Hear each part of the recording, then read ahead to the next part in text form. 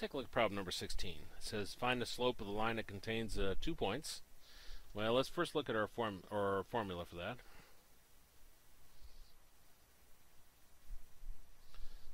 Given two points, x1, y1, x2, y2. Our slope is given by m equals y2 minus y1 over x2 minus x1.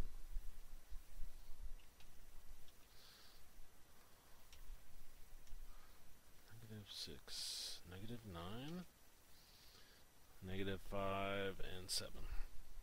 Well, first thing we'll do, this is our first point, and this is our second point. So our first point we'll label as uh, x1, y1, and this one will be x2, y2. It doesn't matter which one you specify as your first point, it still works out the same.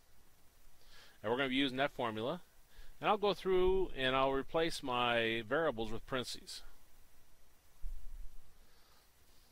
Now where our y2 was, we'll put in 7.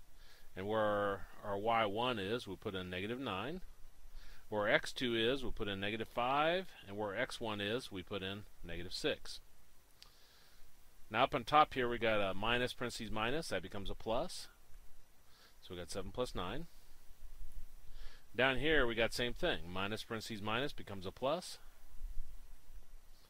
7 plus 9 gives us 16, negative 5 plus 6 gives us 1, which gives us 16 over 1 gives us 16. That's interesting. Problem number 16 has the answer 16, which would be D as in David.